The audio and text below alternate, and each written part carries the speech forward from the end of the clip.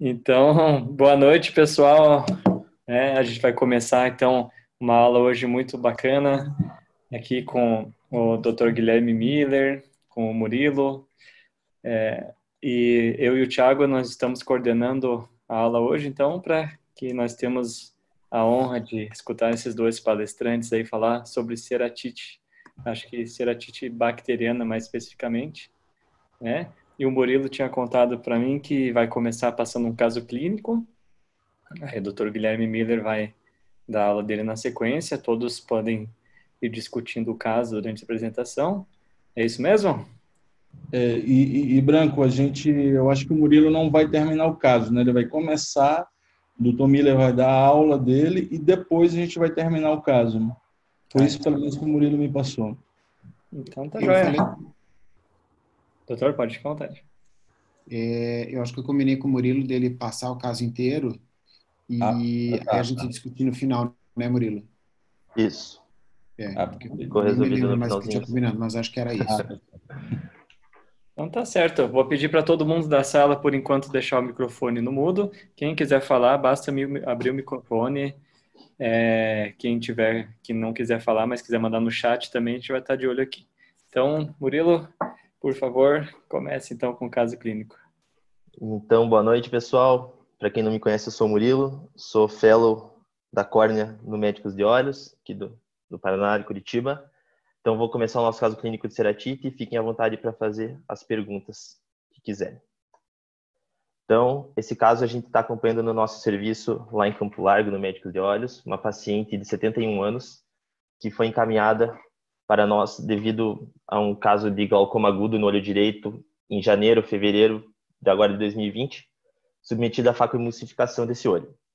É, ela evoluiu com, então com uma descompensação endotelial, uma ceratopatia bolhosa e uma desepitelização corneana. Foi quando ela veio para o nosso serviço da córnea. Então, a primeira consulta que ela teve conosco foi no dia 13 de março, ela veio referindo bastante dor nesse olho, irritação, vermelhidão e uma perda importante da, da acuidade visual. Ela estava com lente terapêutica há dois dias e estava fazendo já uso de Vigamox de 6 em 6 horas e Abac de 4 em 4 horas. Então, no exame, a gente conseguiu constatar que a acuidade visual desse olho estava movimento de mãos, uma epidemia de duas cruzes com bastante injeção ciliar, um edema corneano bastante importante com dobra de DCM, uma desepitelização paracentral bastante grande, de 1,5 por 3 milímetros, com três pontos de infiltrado é, periférico à lesão a essa desepitelização. Pressão estava controlada, fundo de olho a gente não conseguia avaliar no momento. Então aqui a gente consegue ver, dá para ver meu cursor, cursor, doutor Felipe? Sim. Então aqui a desepitelização, central para central, com esses pontos de infiltrados secos, densos, mais periféricos à lesão. Um olho bastante quente, bastante injeção ciliar, então, bastante desconfortável para a paciente. Nossa conduta nesse primeiro dia, então, foi retirar essa lente de contato que a paciente estava usando. Colocamos um pouquinho mais da dose de Vigamox ela estava usando de 6 em 6, iniciamos de duas em duas horas e mantivemos o Iabac. Fomos acompanhando essa paciente a cada quatro, cinco dias, nas semanas seguintes, ela, até que no dia 26 de março, a paciente apresentando uma discreta e lenta melhora da dor e da irritação ocular.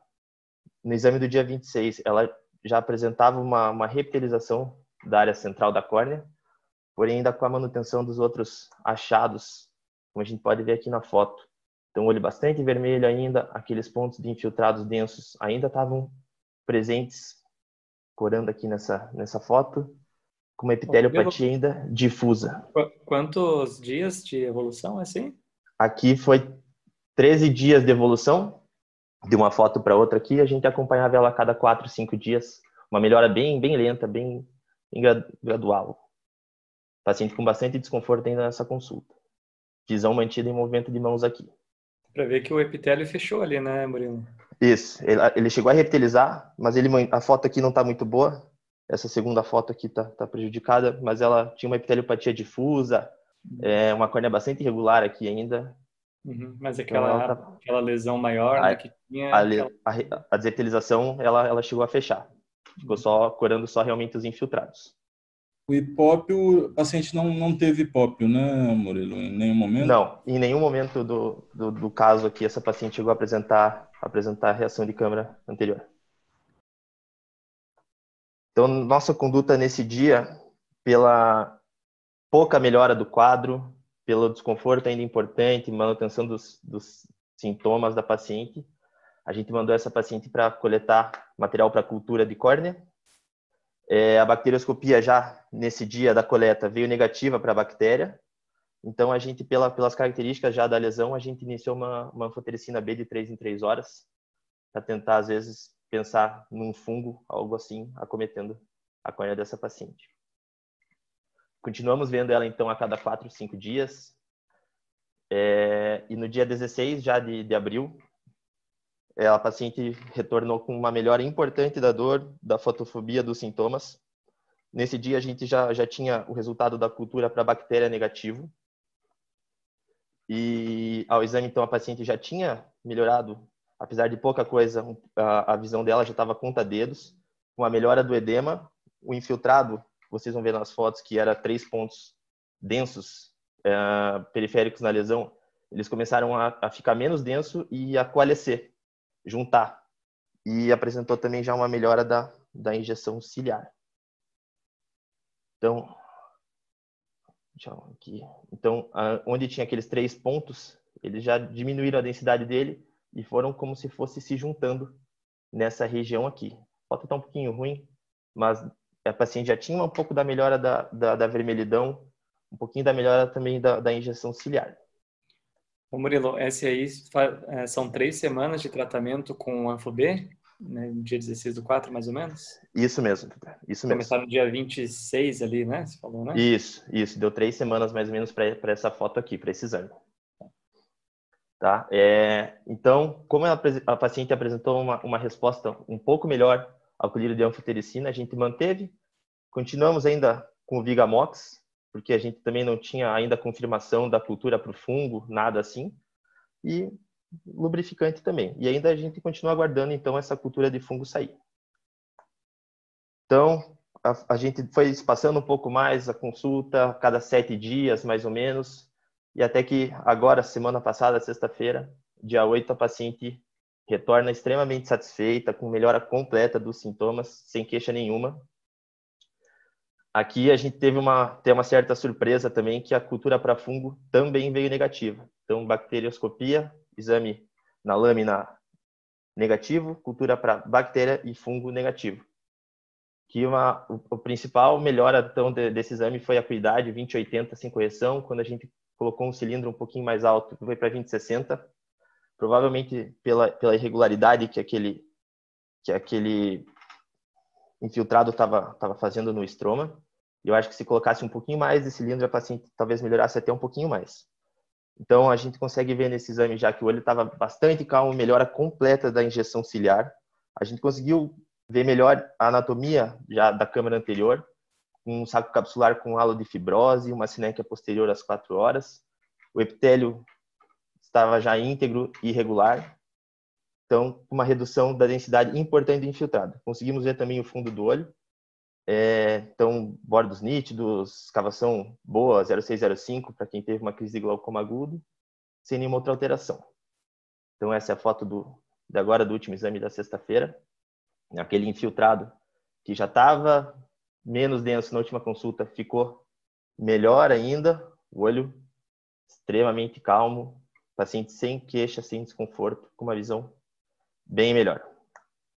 Então, Uh, agora, com essa cultura negativa de fungo na última consulta, a gente manteve a anfotericina e a BAC e iniciamos agora um corticoide 12 em 12 horas para tentar melhorar ainda mais esse infiltrado, ver se a gente dá um conforto visual melhor para essa paciente. E vamos continuar o acompanhamento dela, então. Murilo, então, estão perguntando aqui qual que foi a, a, a dosagem da anfotericina B que foi utilizada, você lembra aí? É, a gente, a gente acaba usando ela 1 miligrama é, por ml. 1 miligrama por ml? Isso. Isso. Murilo, e também tem uma pergunta aqui da Rafaela, se vocês suspenderam o antibiótico, antibiótico terapia antes da cultura, antes da coleta. Não. Uh, ah, sim. Foi suspendido seis horas antes da coleta. Mas depois que coletou, mantivemos o antibiótico até uma cultura negativa aí para a bactéria. Perfeito.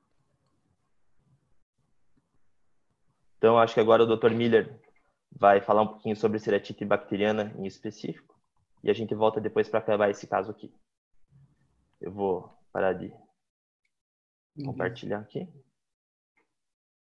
Boa noite a todos. Opa, estou aqui no. É, eu pedi para o Murilo passar o caso inteiro, e daí, antes da gente concluir o caso, eu vou passar a aula, que daí a gente daí já tem outras informações e a gente discute tudo meio junto.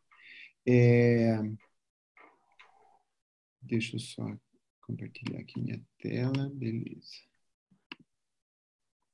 Joia. Todos estão vendo?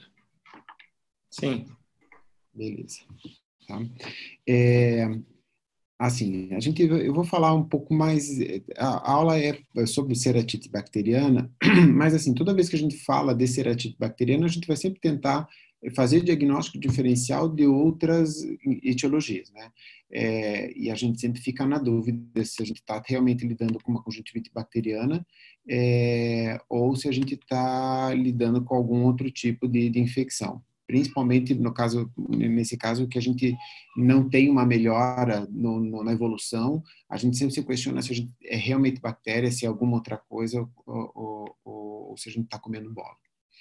É, então, eu vou tentar deixar assim meio que tópicos, assim, para a gente tentar ver quais passos que a gente poderia seguir para tentar fazer um diagnóstico direito e tratar direito o paciente. Tá? É, o primeiro ponto é a gente tentar fazer uma hipótese diagnóstica mais precisa. Então, a gente vai usar dados de história clínica, então, tempo de evolução, se tem história de algum trauma prévio, que vá pensar em alguma etiologia específica, uso de lente de contato, e assim, a gente sabe que é, de cada tipo de infecção vai ter, às vezes, algum fator mais específico. É, no exame físico, para lembrar assim, uma úlcera bacteriana clássica, a gente normalmente vai ter uma lesão única, é, que tem ali o seu diâmetro entre uns 4 e 5 milímetros, então normalmente são úlceras de médio tamanho, podem ser maiores também, é, e tem um aspecto de colônia. Então, assim, você vê que é uma lesão branca, circunscrita, bem delimitada, única, e que normalmente tem um infiltrado denso, com margem bem delimitada, e a área necrótica, isso principalmente no começo, ela, a, a, área de, de ulceração normalmente vai coincidir com a área de infiltrado e você tem um pouquinho, no, no início, pouco, isso pode aumentar com o tempo, uma necrose que faz com que a úlcera vai ficando cada vez, cada vez mais funda. É, e de epidemiologia, a gente tem que lembrar que é, no mundo de úlceras, a maioria é bactéria.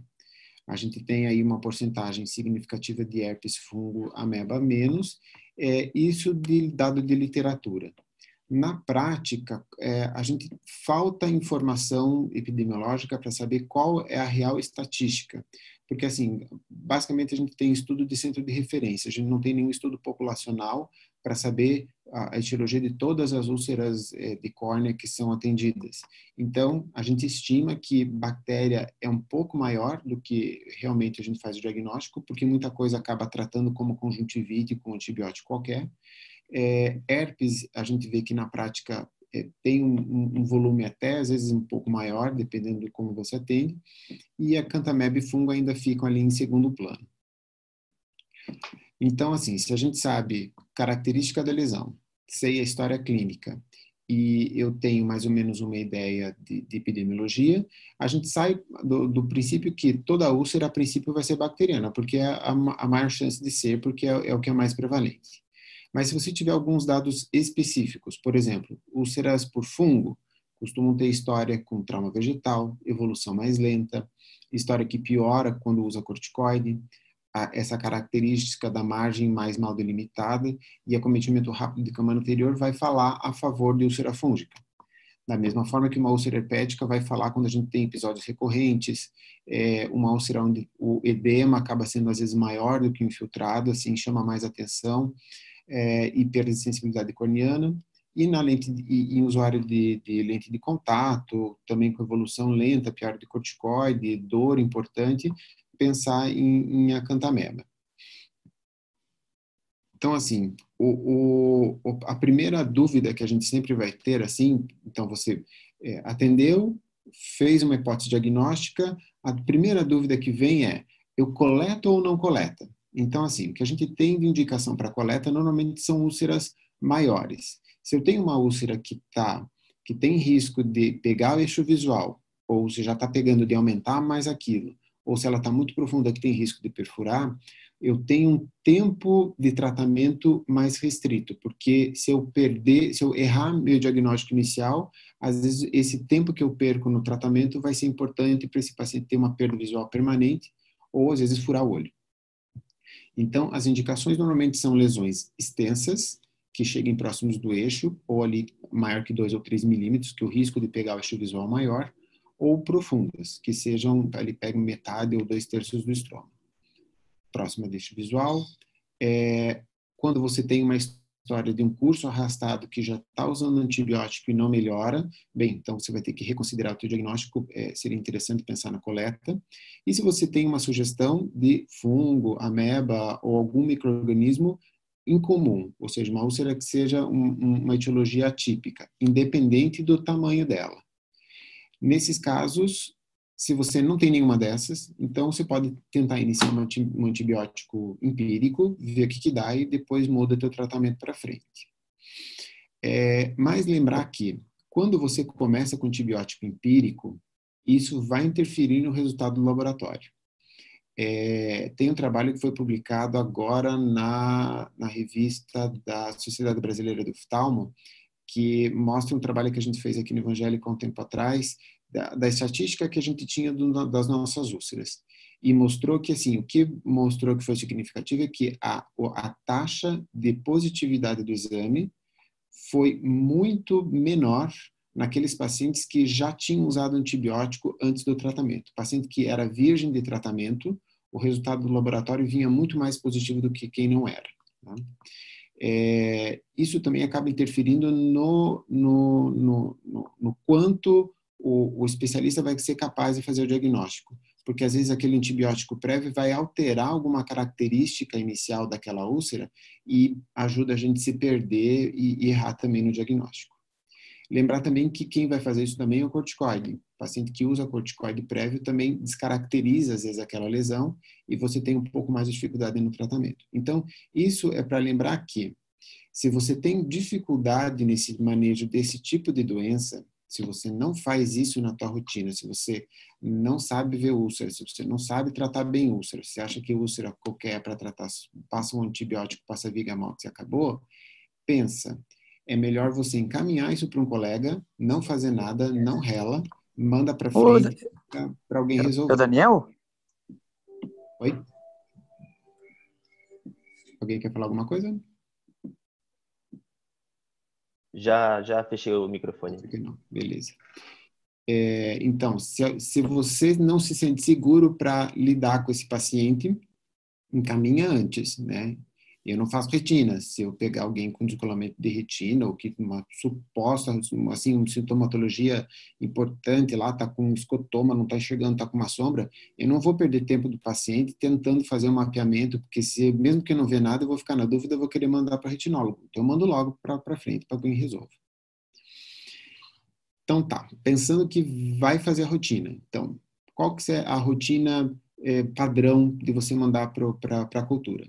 Decidiu pela cultura, você vai pensar principalmente fazer uma coleta de um raspado para fazer uma pesquisa direta do material. Então você raspa o material da úlcera, passa numa lâmina de vidro e manda para o laboratório examinar aquele material.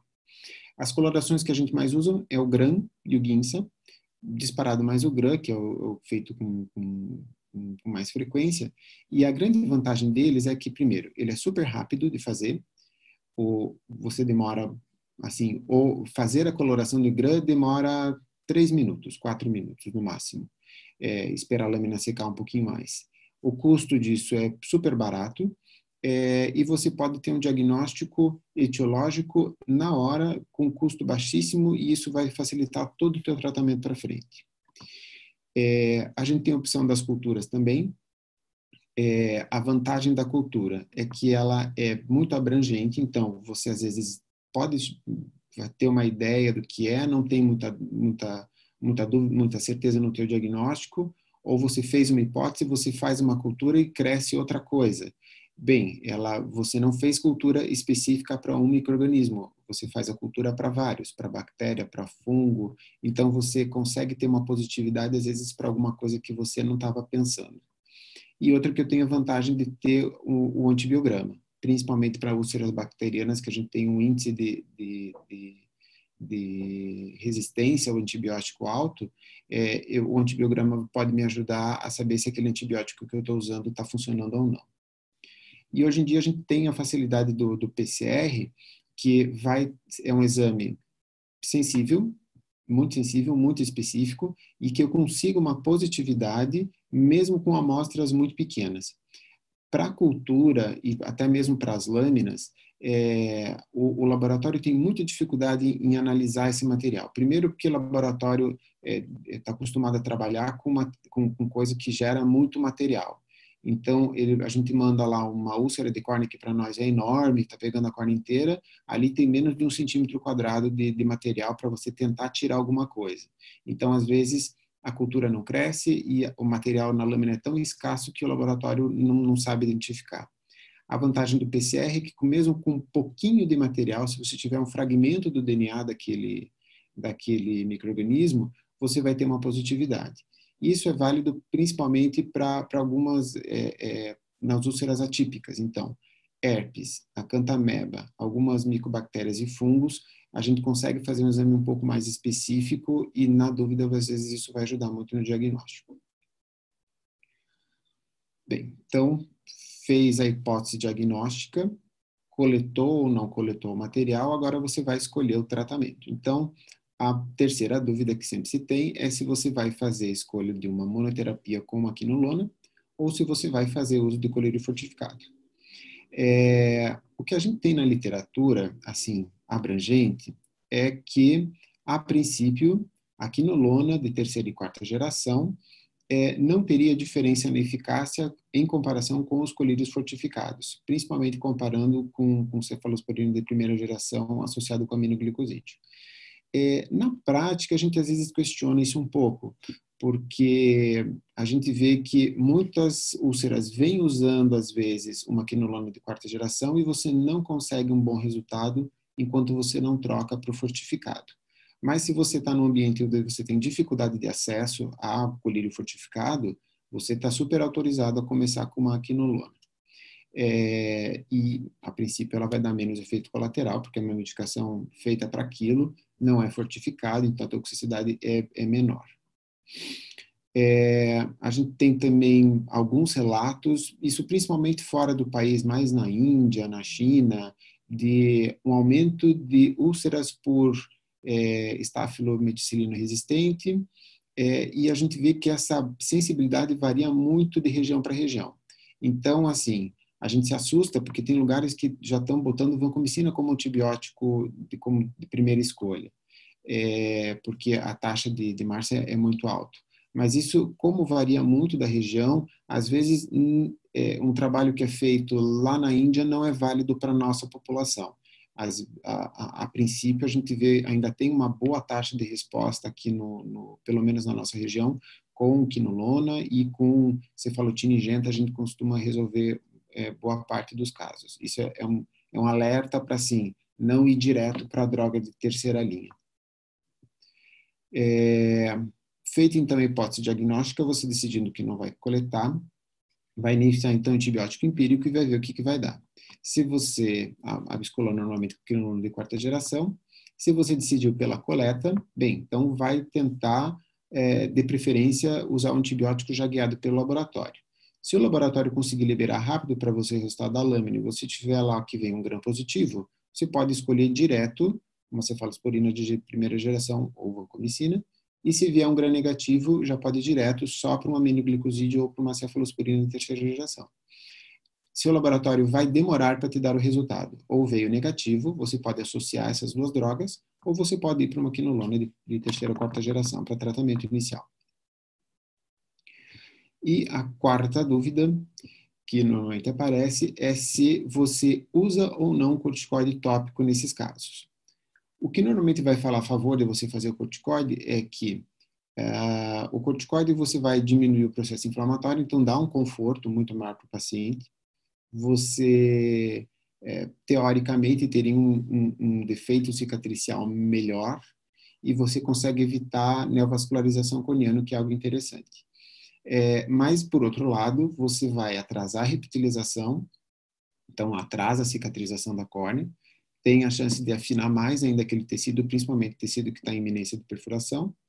Você vai fazer imunossupressão local, então se você não tiver acertado no teu escolha do teu antimicrobiano, você pode facilitar com que aquela infecção piore.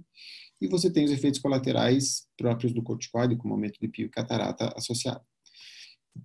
Então, assim, o que a gente tem de revisão da literatura é mostrando que, numa população de todas as úlceras, com e sem corticoide, úlceras bacterianas, não há melhora na acuidade visual final é, entre aqueles pacientes que usaram ou não usaram corticoide tópico ao longo do tratamento. Mas se a gente, de novo, volta e vai particularizando é, é, conforme os grupos, a gente vê que naqueles grupos onde a baixa visual inicial desse paciente era importante, úlceras que eram mais centrais ou profundas, e principalmente úlceras por pseudomonas, essas tiveram melhora no resultado da cuidado visual por ter usado corticoide. E ao contrário, úlceras principalmente por nocádia e claro, por fungo, herpes, acantameba, isso vai piorar se você passar o corticoide. É, então, na prática aqui, a, a, você estaria indicado a entrar com tratamento a, com corticoide se você pelo menos tiver uma confirmação diagnóstica ou tiver uma melhora clínica significativa com, com o tratamento, e nessas situações aqui é, eu acho que valeria a pena. Mas se você está na dúvida ou suspeita que algum é, microorganismo que vá piorar, o ideal é você não usar o corticoide para você não iatrogenizar esse paciente. Uh, como fazer o segmento? É, às vezes o diagnóstico é fácil, iniciar o tratamento também, mas a gente começa a se bater no segmento porque a gente se perde. São pacientes que às vezes acabam vindo uma, duas, três, quatro, cinco vezes. Às vezes vem lá em questão de um mês, você já viu aquele paciente umas 15 vezes e você se perde para saber se ele está melhorando ou não está melhorando. Então, assim, sugestão é que desenho, descrever, ah, era uma lesão de 2 por 3 milímetros em eixo, em paracentral, próximo do limbo, com infiltrada. É muito difícil você não ler isso para uma outra pessoa que leu, às vezes a pessoa que escreveu, descreveu vendo uma lesão e a pessoa que lê imagina uma lesão completamente diferente. Então, nada melhor do que uma foto, é rápido, hoje em dia todo mundo tem celular, é só questão de você aprender a usar o celular e conseguir tirar uma foto da córnea com, com, com, com foco. É, é, a melhor forma. Você consegue ter um registro rápido, você consegue mandar para algum colega se você for encaminhar esse paciente, e você tem um registro para manter o acompanhamento para saber se aquilo ali está melhorando, está piorando.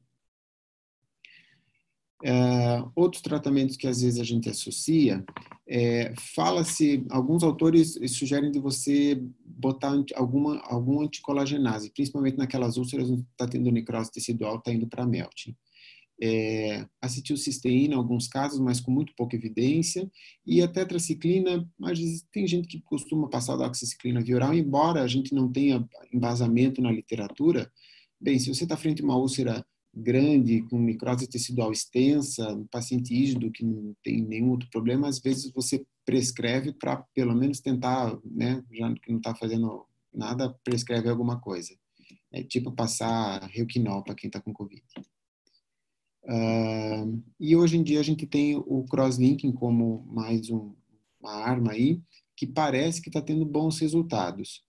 É, tem algumas restrições com algumas indicações que não, não valeria a pena fazer. Herpes, por, por exemplo, ele é proscrito, você não faz. É, ainda gera aí um pouquinho de dúvida no tratamento em acantameba e fungo, mas para a úlcera bacteriana parece que ela tem, tem bons resultados. É, mas a princípio, ainda tudo experimental, o tratamento de escolha continua sendo o antibiótico mesmo é, só aqui de título de curiosidade, o, é, o crosslinking para tratamento de úlcera é, é igual ao crosslinking que a gente faz para o ceratocone. é, normalmente faz o Dresden normal, mas a nomenclatura dele é diferente, é, é, se escreve diferente. É só questão de, de literatura isso para quando você for procurar o crosslinking para úlcera e o crosslinking para ceratocone, você tem um nome diferente dos dois.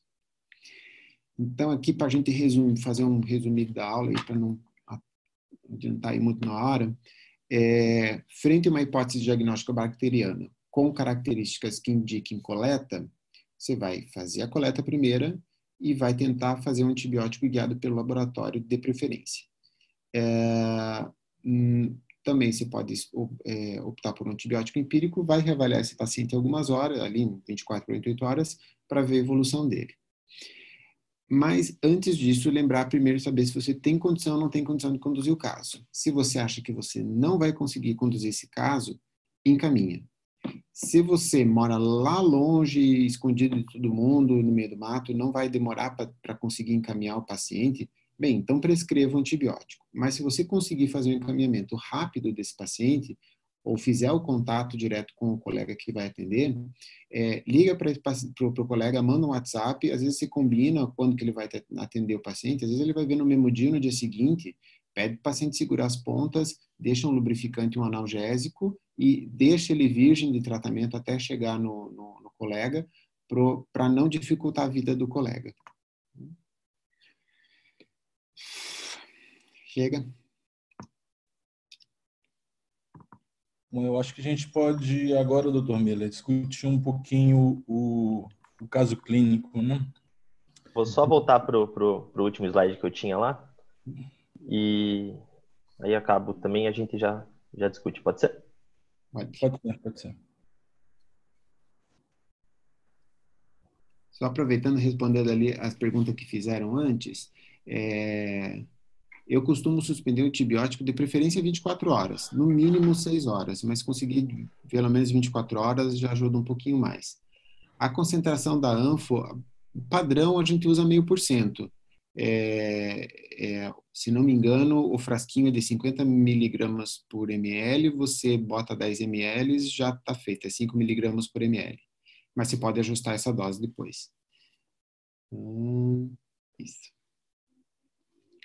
Do, eu vou comentar só rapidinho o que, que do, desse caso. É, assim, é um caso que a gente parece, assim, a princípio é um caso de úlcera fúngica né? Você não é uma úlcera bacteriana. Porque, puxa, ele veio tratando com antibiótico, usou antifúngico e melhorou depois disso.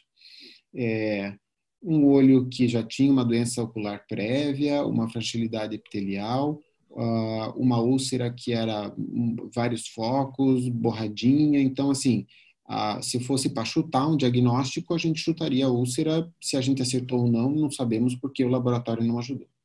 É, mas, assim, algumas ressalvas. Primeiro, é, o antibiótico prévio provavelmente deve ter atrapalhado bastante o diagnóstico. Ah, mas era uma úlcera pequenininha. Bem, mas era uma úlcera típica. Então, mesmo sendo pequenininha, às vezes valia a pena suspender tudo, ficar sem nada de remédio e coletar num segundo tempo. É, ou às vezes até se não tivesse usando antibiótico antes, faz a coleta mesmo sendo pequenininha. É, ah, com relação a manter o uso do antibiótico, às vezes gera um pouquinho de dúvida. Quando você tem a confirmação do, do laboratório, aí normalmente a gente tem coragem para tirar o antibiótico. Não tendo, às vezes a gente pode ter jurado pé junto que aquilo ali é uma coisa e às vezes é outra. Então, é, você às vezes mantém o antibiótico. Pode, assim, eu não sei se eu manteria o mesmo Vigamox, porque assim, ele, ela está, pelo que entendi, essa paciente estava usando Vigamox a cada seis horas, desde lá de fevereiro, provavelmente, e daí pegou a infecção. Bem, se ela vinha usando um antibiótico a cada seis horas, ali uns 30 dias que seja, e ela pegou uma infecção em cima daquilo, pelo menos eu tentaria trocar por um outro antibiótico e não manter com o mesmo e tentar mudar a dosagem. Não acredito que isso iria mudar alguma coisa. É... Será que, pensando às vezes numa infecção secundária, doutor, evitar uma infecção secundária, bacteriana em cima dessa outra não, infecção. Esse seria o objetivo uma, da, do tratamento inicial, né? Você não, não, ela não tinha nada, está fazendo uma profilaxia. Mas daí você fazer uma profilaxia com antibiótico que já estava usando por 30 dias e ele pegou uma infecção, troca o antibiótico, né? E assim, você tem uma infecção fúngica e você pegar uma outra infecção por cima, é, não é impossível. Tem alguns relatos de infecção por poliflora, essas coisas, mas assim, é difícil, porque você tem ali um, uma úlcera, um sítio infeccioso que está cheio de célula inflamatória, cheio da citocina, de ABA4, é, e daí um outro microorganismo vai cair em cima e vai tentar disputar o espaço com outro que está proliferando. A chance de, de, de co-infecção é pequena nesses casos, né? É, assim, o uso prévio de antibiótico, ele até é um fator que fala mais a favor da infecção por fungo, porque provavelmente aquela córnea estava estéril para a bactéria e facilitou com que o, o fungo crescesse em cima. Tá certo.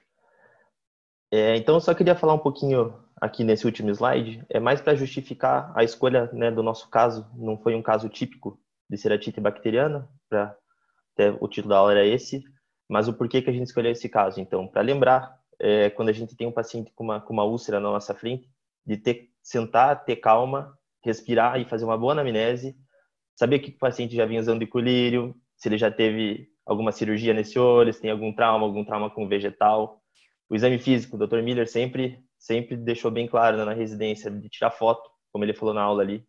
Então, extremamente importante essa parte. É, e assim a gente daí conseguir iniciar uma terapia mais direcionada o mais rápido possível, não perder muito tempo também. Porque a gente não pode também esperar sempre a cultura, né, vir alguma coisa, como nesse caso veio negativa tanto para bactéria quanto para fungo. A gente não pode depender só da cultura para ver qual antibiótico, qual uh, antifúngico a gente vai usar. E lembrar também de orientar bem o paciente do tratamento, da demora do tratamento e da demora da melhora dos sintomas. Tem que, tem que sempre acalmar. Às vezes os pacientes eles ficam um pouco uh, desacreditados que vai melhorar. Então, isso é importante também. Queria deixar aqui aberto aos participantes também, quem quiser fazer perguntas para os palestrantes, né? É, sobre ceratites bacterianas ou até mesmo fúngicas, que foram os temas da aula, tem um espaço agora. E eu queria dizer que eu também fui aluno do Dr. Guilherme Miller e continuo sendo aluno até hoje porque os casos que eu tenho de infecção, eu sempre gosto de mandar mensagem para ele, uma foto do caso para ele, para ter opinião, porque é uma pessoa que eu nunca vi, né? Qualquer um que fala do Dr. Guilherme Miller fala com respeito, né? Porque, não, não, tô, não é para puxar saco, não, doutor. É porque realmente a gente gosta muito de, de você, da sua opinião e, e, sabe do tanto que você tem de conhecimento é, em córnea em geral, mas, e principalmente nesse assunto que a gente está falando agora de, de infecções em geral, né? É realmente uma referência muito importante para a gente. E o jeito que você coloca a aula, assim, de uma forma tão simples e objetiva de tratar, nossa, isso ajuda demais, né, para quem para quem está tá pegando esses casos em consultório. Então, aqui a gente começou com as perguntas, com os comentários aqui, né? É, o Valadão, você quer, quer ler as perguntas aqui para a gente ali? Bom, tá, o chat eu não consigo aumentar.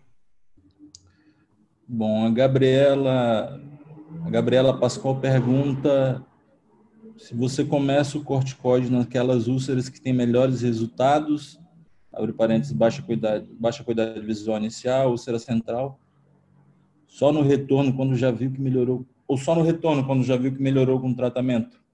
E, é para mim responder ou para outra pessoa? Não sei. Isso. Eu? É, eu vou falar. É, eu, não, eu não começo corticoide em todo mundo, não. É, ao contrário, naquelas úlceras que estão indo bem só com antibiótico, o paciente está melhorando a dor, está melhorando o sintoma, a visão está boa, principalmente úlcera que é fora, fora de eixo, não tem por que entrar com corticoide. Não acredito que vá fazer qualquer milagre. Se o paciente já está melhorando, visão está boa, sintoma está melhorando, qual que ganho que eu vou ter com o corticoide? É só o risco de eu é, estragar o que está melhorando. Eu não costumo colocar. O, o Márcio perguntou do PCR. Márcio, o, eu tenho mandado PCR para Genoprimer por enquanto o laboratório da Unimed tinha acusado um tempo atrás que eles, eles montaram um laboratório de biologia molecular e que iam começar a fazer para herpes, para cantameba também, mas até agora nada. É, eu tenho mandado para Genoprimer, normalmente eles resolvem rapidinho, assim, se manda é, na hora do coleta, no começo da tarde, no final da tarde eles já te deram o resultado, é super rápido. Doutor, a, quando vai pedir... A Rosa mandou uma pergunta que eu não entendi ali. Pode manter o primeiro esquema de tratamento? Eu não entendi, desculpa. Não, sei. É, eu, tá falando eu, tenho uma, eu tenho uma pergunta, doutor Miller. também fui aluno do doutor Miller e compartilho a mesma, mesma opinião que o, que o Felipe Branco. É um orgulho, né, Tiagão? Hã? Um orgulho pra gente, né? Com certeza. É, a minha pergunta é se você já tem algum caso, doutor Miller, que você fez o crosslink. Já tem algum caso que você fez em úlcera bacteriano ou, ou acantameba? Eu tenho um paciente que fez, era um paciente que ele veio com é, veio sem diagnóstico e ficou com o diagnóstico meio no ar de, de acantameba. Ele veio falando que ele tinha feito um diagnóstico, deixa eu tentar me lembrar agora. Ele usou de lente, veio com uma úlcera super arrastada, é, um quadro clínico característico de úlcera por acantameba, e ele se não me engano, ele comentou que um resultado tinha dado positivo, mas ele não tinha nada na mão, ou veio com uma hipótese já formada de algum outro colega. E continuou tratando, e no meio do tratamento foi repetido o PCR e veio o PCR negativo. Aí, assim, eu fiquei na dúvida se aquilo ali estava, era o PCRV negativo, porque aquela córnea estava já estéreo ou, ou não, nunca foi a cantameba, ou se a cantameba já não estava mais na superfície onde eu raspei. Então, gerou um pouco de dúvida e era uma úlcera que estava bem arrastada e não estava cicatrizando. É, ele foi pro, pro, pro cross e respondeu super bem, assim, ele já fazia acho que umas, quase, acho que já tinha passado de 30 dias de evolução, pelo menos há umas duas semanas, assim, com a úlcera sem mudar nada as dimensões dela, e uma semana, depois de uma semana, já estava com o olho fechado, o olho bem mais calmo. Ele, ele, teve uma resposta bem boa. Mas é aquele negócio, não é para todo, não é para todo mundo. E assim, não não tirei o resto do tratamento. Continuou tratando e também fez o, o cross. Tem que ficar esperto também que úlcera muito fina, às vezes tu vai queimar o endotélio. É, é, nesses casos é bacana se conseguir fazer um OCT antes que daí o ACT você consegue ver melhor ali a, a, a, se você tem leite suficiente para fazer. É, eu faço Dresden mesmo, Felipe. Não, não, não faço FAST. Eu vi o Dr. Lucas mostrou um caso que ele teve ali de infecção, ele fez um ACT numa úlcera e o estroma afinou demais ali, né? Então, isso que você falou é importante mesmo, né? Fazer um, uma imagem também para ver se, se caberia, se você pensa em crosslink também, ver se tem espessura. Às vezes você até vai para o crosslink mesmo assim, porque assim, se a córnea está fina, ela não está fina que nem no cone, que está fino no quase todo, assim, toda a área do cone. Ela está fina num ponto pequeno. Nem, se eu não fizer nada, o que, que vai acontecer? Aquela córnea vai furar e eu vou precisar ir para um transplante penetrante. Bem, se eu queimar o endotélio numa região pequenininha, às vezes eu tenho o resto do, do endotélio para cicatrizar aquela região. Vai ficar, às vezes, atrás de uma área que a, que a, que a córnea já está meio pacificada por causa do leucoma que vai ficar. Não acho que seja um grande problema, mas, assim, é bom para você ter isso documentado antes. Ah, legal. É, doutor, é, é importante também falar para o pessoal que o PCR, né, quando vai pedir, você tem que pedir específico para o que você quer, né? É, o ah, laboratório cobra por, cobra por, por agente, né, que você está pesquisando.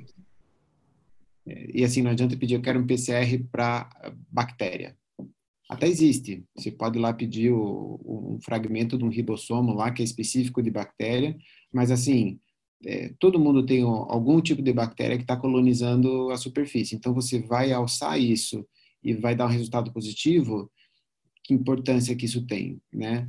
É, é que nem aqueles resultados que você está lá, é uma úlcera que nossa, é um herpes, é um fungo.